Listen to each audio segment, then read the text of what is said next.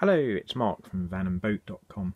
Had one of these Chinese diesel heaters fitted for about four months now, and it's been working perfectly over the winter, but I went to use it uh, about a week or so ago and I was getting an awful lot of black smoke and it was coming up with an error message 008.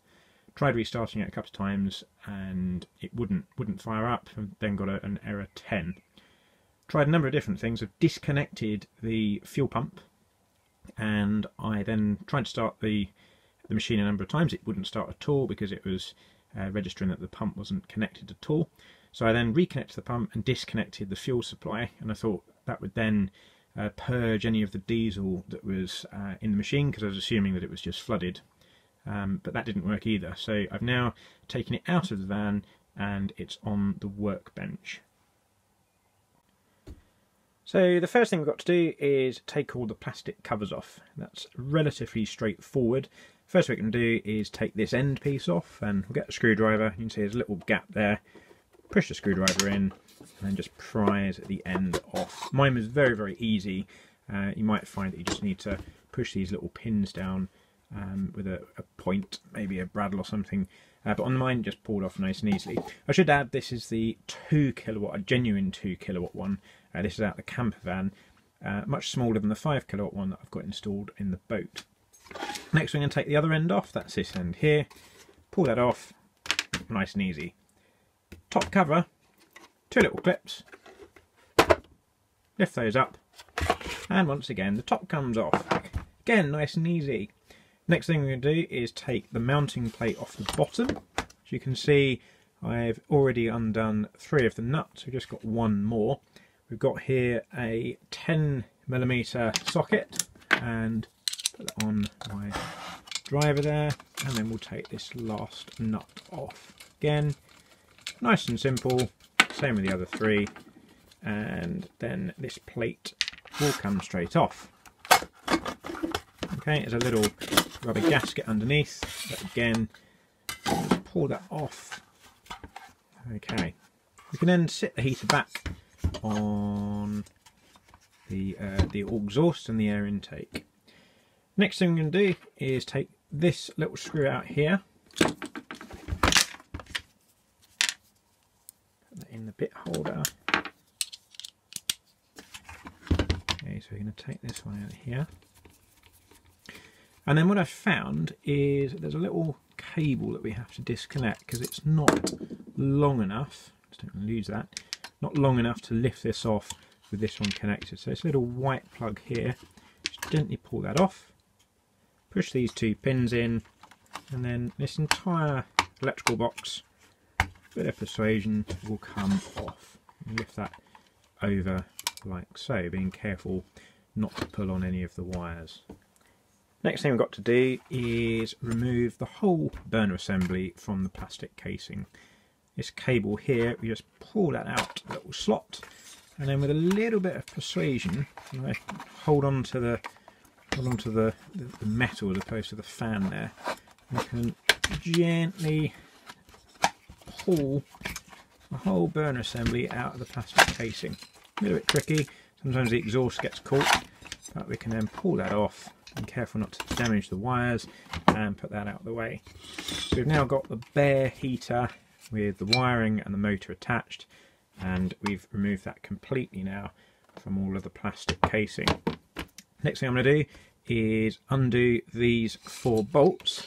I'm going to sit the heater on its end and then we will find the right bit to undo those four bolts. Okay, not that one, I'm going to go for a slightly smaller one. Okay, so this one fits. And then going to undo those four. It's always a good idea to do them diagonally because you're then taking the uh, the stress off of the casting. It's even more important when you're doing them up again. That's the first one. and then we'll do this one over here.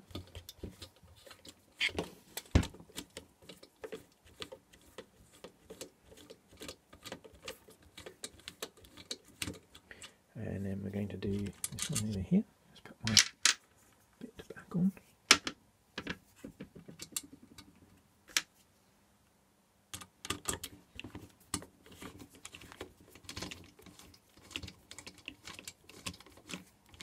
Okay and leave that in there a second.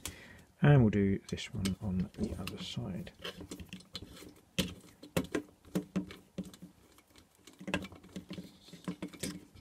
Okay, move that out the way. And we've then got this last one here. Just take that out.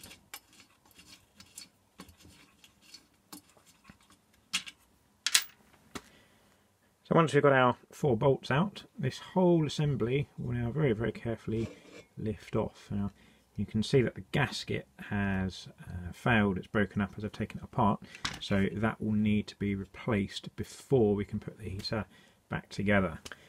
So the next thing we've got to do is remove the glow plug. That's quite straightforward. and pull this rubber grommet back here. Then going to disconnect the electrical connector. So just push this little tab down and that will then pull off like so. We're then going to get a spanner. We have got a, I believe it's 12, yeah, 12 millimeter spanner. I'm just going to sit that on the glow plug just down there. Okay. Okay, we'll try and spin that round. I did actually loosen this just before I started recording, but you can see exactly where we're removing it. Okay, we'll try and undo that, trying not to twist the cable, trying just to turn the glow plug itself. So will undo that. And then we can remove the glow plug, like so. We then need to remove these three bolts.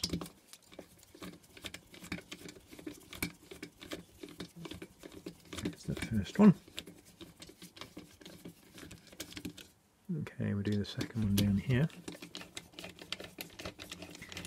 I'm guessing I'm going to have to replace the second gasket as well, so we shall see. And we've got our third one there. Let's undo that one.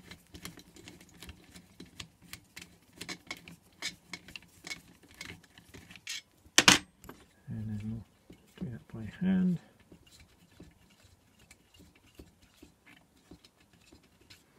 and we'll keep these separate uh, to the other three because they are actually a different length. They're slightly uh, shorter than the first three. And then this whole assembly will pull straight out like so. And as you can see, it is very, very dirty. It's full of carbon and you can see quite a lot of unburnt fuel. So the next thing we need to do is to give this a really, really, really thorough, thorough clean.